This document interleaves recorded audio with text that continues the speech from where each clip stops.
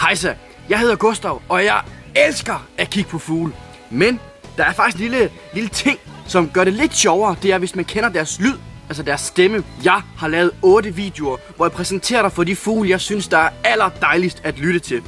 Og fuglen, vi skal høre om i denne video, det er denne her.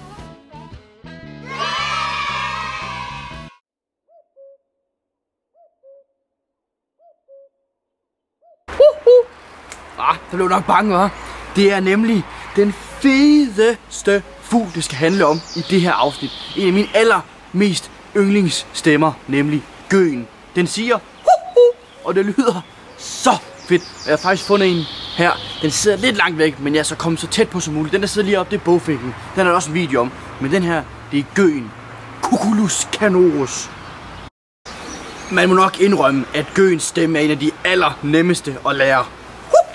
Altså, der er ikke andre fugle, der siger sådan. Det er den nemmeste fuglestemme at lære, men det er faktisk en af de sværeste at finde. Man kan nemt, eller man kan nemt finde den og høre den, men at se den. Så hvis du ser en gø, så er du heldig. Ja, nu snakker vi om at opleve gøen. Hvis man gerne vil se gøen eller høre den, så skal man ikke gå ud i december måned og kigge, fordi gøen kommer først, først i maj. Den kommer jo sydfra, det er en trækfugl. Men nu ved jeg godt, det her handler om fuglestemmer, men der er lige en ting, du skal høre om gøen, fordi gøen er det, der hedder en snylter.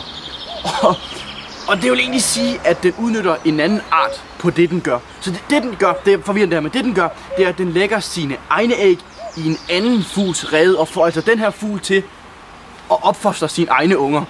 Så altså, den får en anden fugl til at opfostre, altså, altså, jeg vil sige, det er jo lige svar til, at din mor, hun ikke gider at, øhm, at opdrage dig, så derfor så, øhm, føder hun dig hjemme ved din nabo, og lader din nabo øhm, opdrage dig, og når så er du blevet stor og voksen, voksen og selv kan tage opvaskemaskinen, så tager hun dig tilbage igen, og så vil hun gerne have dig.